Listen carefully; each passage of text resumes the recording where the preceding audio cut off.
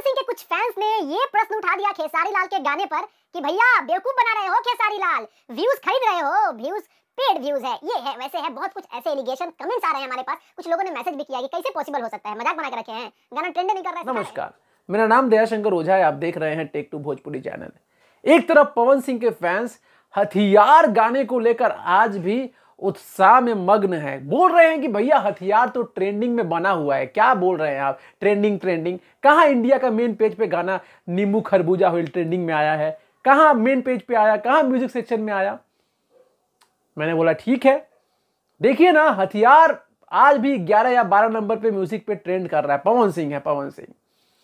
तो क्या सच में एक खेसारी लाल का व्यू अभी तक तो कोई एड दिखा नहीं हम लोगों को।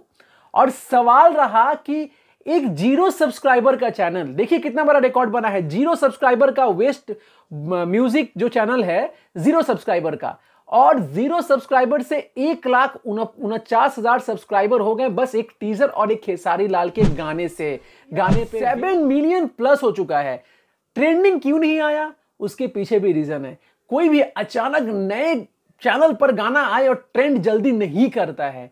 क्या कोई गाना ऐसा आया था पवन सिंह का जो नए चैनल पे एकदम आया और फट से ट्रेंड कर गया? अगर आपके पास प्रूफ है तो ज़रूर से मेरे इंस्टाग्राम पे शेयर कीजिएगा, मैं वो दिखाऊँगा और दिखाऊँगा कि पवन सिंह का गाना आते ही ट्रेंड किया था नए चैनल पे।